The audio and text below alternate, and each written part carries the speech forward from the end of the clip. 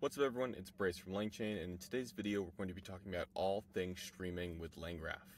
We're going to cover the four main streaming methods, events, messages, updates, and values.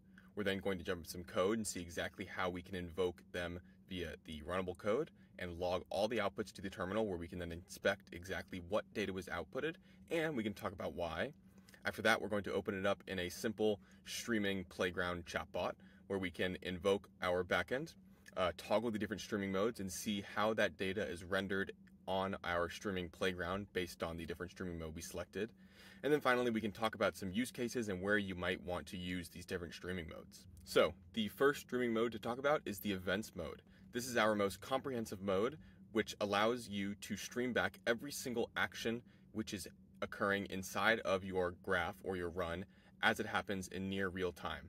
There are three main types of events which will be yielded during this streaming mode. This is a start, end, and stream event. Every time something happens inside your run, say you invoke a chat model, you will get an on type, so in our case chat model, start event. So if you invoke your chat model, you'll get back an on chat model start. Then we have our streaming type every single time something inside of your graph or your run streams, not the actual graph itself, but a specific task inside your graph, like chat model stream, streaming back tokens. So every single time that happens, you'll get back an on type stream event. So in our case, that will be an on chat model stream event. And you'll get back a series of those for every single token that's streamed um, from the LLM. And then finally, when it completes, you'll get an on type end event, in our case, an on chat model end event. This will occur for every single action taken inside of your graph, um, including the graph start, the graph end, and so on. Um, and you get the inputs, outputs, and chunks yielded along with some other metadata. So now let's open up the code and inspect exactly how we can do this programmatically. First things first, you're going to want to clone the LangGraph.js examples repository and then open up the streaming messages directory. I've already done that, so I can open it up here. So I have my streaming messages directory open, and I'm going to want to set a couple environment variables in my .env file. That's going to be the OpenAI API key and Tavily API key. That's because we have our graph inside of the runnable directory here, which requires an OpenAI key to call the OpenAI API and also a Tavily search results uh, tool, which uses the Tavily um, API to essentially search the web on different queries. We then have a super simple graph that we saw inside of our LangGraph Studio here, which has two nodes, agent and tools, um, and the agent can route either tools or can end. So you're going to open up the stream events file here, and we see we're importing our graph. We're defining our message saying what's the current stock price of Apple. We're setting our config, um, specifically setting the stream events version to v2, which is the latest version. And then we're passing in our input and our config to the graph.streamEvents method. Then we're iterating over the stream and just logging all of the values to the terminal. So now we can open up our terminal and invoke this graph. So I hit enter, and then we're going to see all of the different events yield in. It's going to have a large amount of events because it's yielding in, as we see there, um, an event for every single action that's taking place inside of our graph. So we scroll to the top, and we can see that the very first event that was yielded back to us was the on-chain start. This is the first event taken in our graph because it started. Uh, next, we have a subchain inside there, so it's another on-chain start and then on-chain end, and that's just for the very first um, part of the graph that's in invoked. Then we start our chat model, so we see an on chat model start event, and this is going to yield a message. So we see the data field, and this data object is going to contain all of the data that this event yielded. So in our case, it's the input to this, message, um, which contains the messages field because that's the state uh, that we define for our graph. And this is just going to contain the message that we inputted. Next, we're going to stream back all the tokens. So for every single time the LLM streams a token, we'll get an event for that. And we can see here contains a chunk. So this data object can, can contain three fields, input, output, and chunk. Uh, the input is the input that's passed to this different task.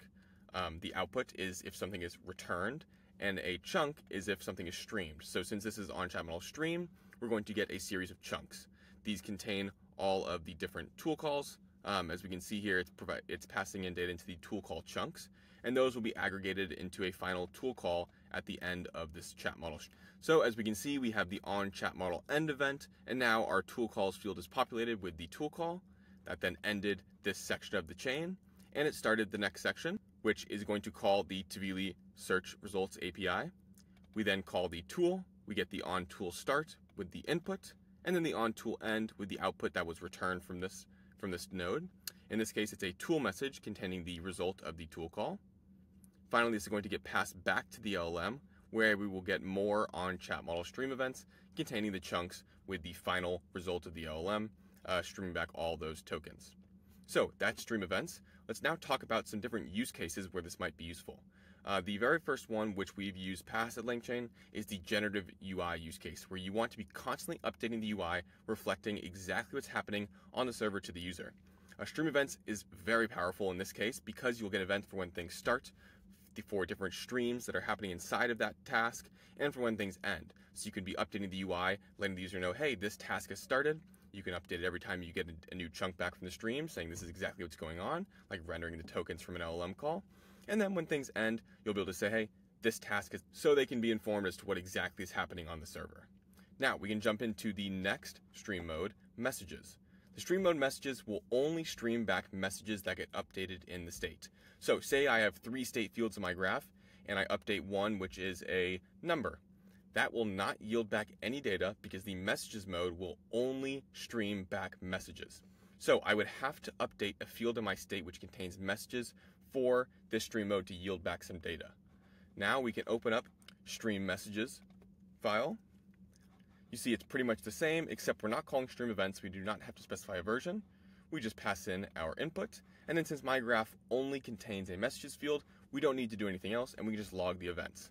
We can go to our terminal and we can run yarn start messages. We'll hit submit and then as each message is appended to our state, we'll see it logged to the terminal here. Now this is finished, we scroll to the top, and we'll see the very first node which was invoked was the agent node, and that returned a new AI message here containing the tool call. This tool call is calling the Tavily search results tool, as we see here. Then we get a new message returned from the tools node, which is a tool message containing the result of the API call. And then finally, we get an AI message containing some text content uh, that was generated using the result of the tool call and our original question. As we can see, since my graph only contains messages, this will only stream back the messages that were updated in my state. We can now open up the web server, which also comes in repository if you clone it, the inside the streaming messages front end directory. So you're going to want to navigate there and run yarn dev. And then once you've ran that, you can open up your web server here and once this loads, we can simply ask a question like what's the current stock price of Tesla, and it will stream it back to us using the stream messages mode. So we see we get a tool call, we see the result of the tool call, and then we see that the LLM generated a final response here. Using this settings icon, we can toggle the different stream modes. So if we want to see events, which what we were just talking about, we can select this, and then we'll just say thanks. This is going to log every single object which is returned from our stream events call. So if we scroll to the top, we see there's a lot of events because it's going to send back a new event for every single token yielded by the LM. We see we get our on-chain start. As we scroll, we can start to see our agent node was invoked. We can then see on-chain start again, which is probably going to be calling the tool call. So it's a runnable Lambda which contains the on chat model start event. And inside here, we can also see that we get all of the history inside our messages. So we see the message that the LM responded with above. We see the tool call content, and then we also see our input. Or sorry, this is the tool call. If we scroll up, then we can see our input. So this just shows how much data the stream events endpoint will return. As you see, we scroll for quite a while to get to the end because it's returning every single event and all the data from those events that were taken in our graph. Now, if we go back to the code, we can open up our README, and we see that the next mode is updates. The stream mode updates is somewhat more selective to where it will only yield the updates made to the graph and no other fields. So let's say you have, once again, three fields in your state, and you update one of those fields, and you're specifying stream mode updates, you're only going to get the value that you updated. You are not going to get any of the other fields in your current state. You're not going to get the previous fields of that current state item. You're just going to get the data that was updated in that specific update. This occurs when you um, do one of two things return a value inside of a node, and then you're going to get that data which was returned inside that node, or you call the update state method on the graph, um, and then you're going to get the object or whatever data you passed in to that update state method. So it's only going to give you the, the data that was updated and nothing else. Now, if we open up the stream updates file, we can see once again we're calling .stream, but this time we're passing stream mode updates and then logging the values. Now we're back in the terminal and we run yarn start update, hit submit, and as we see, only the updates come in. So from the first node tools or agent, then tools, then agent again. As you can see, it's pretty similar to the messages mode because I only have messages in my graph, but we have the node, and then this was the value returned from that node. If we open up the graph, we can see exactly what gets returned from the model. So call model, which is our agent node, returns this messages object containing the message, and as we see that matches up right here exactly, and it's only returning inside this, this one yielded object, the data that was returned from this node. The next is the tools node. The tools node returns messages with a single message. And then once again, the agent node here returning this uh, AI message. So once again, the updates stream mode will only ever return the values updated in that specific point in your graph. So now we can go back to the UI, we can reload, and then we'll want to toggle stream mode updates, and we'll ask the question, what is the current stock price of Tesla? And as we see, we are only getting in the same things we saw in the terminal. We have the agent, the tools, and then the agent node again, and it's only the values that were returned inside of those specific nodes, and we're not getting the rest of the history. If we want to get the values returned and the rest of the history, we can specify stream mode values. First, let's look at the code and see how this works, and then we'll run it in the playground. So we'll open up the streamvalues.ts file, and then we see, once again, we're specifying stream mode, but this type is values. We call dot .stream and then we log all of the values of this to the terminal. Now let's open up our terminal, terminal and invoke it. I hit start and we're going to see all the updates, including the previous values in our state get logged to the terminal. So I scroll to the top and we see the very first object which is yielded back is our input message. That is when we updated the graph state with our input, right? We send it to the server that adds it to the graph state, and then a new value is added to the state so that gets yielded back to us. Next, our LLM called a tool. So we see we get a new messages array containing our message because it's sending back right the entire state and the updates. So we get our message and then the new AI message, which was added to the state.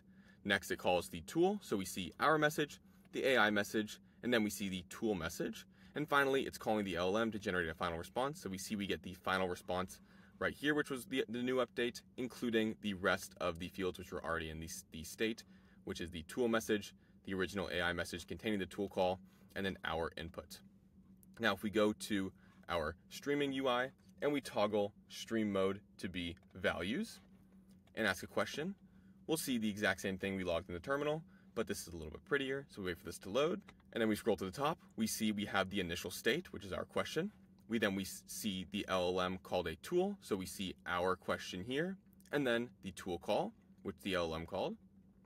After that, we see that the tool node was called, so we see our input message, the tool call by the LLM, and then the result of the tool call.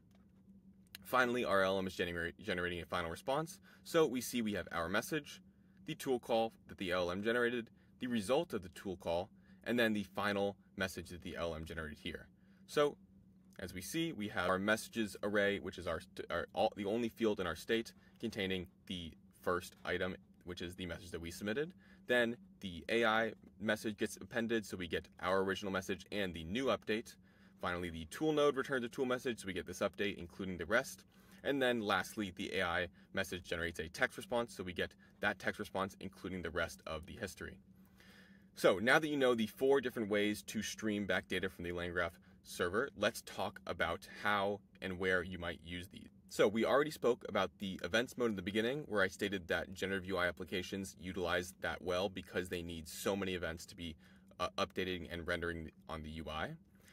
The next was the messages mode, which is very useful if you're building something like this, which is a chatbot where you only care about messages in and messages out, and you're not really rendering anything else on the UI except for the human and assistant messages. The next mode is the updates mode, an application where this could be useful is, say, a notification system where you only care about the changes being made and not the current state or the previous state.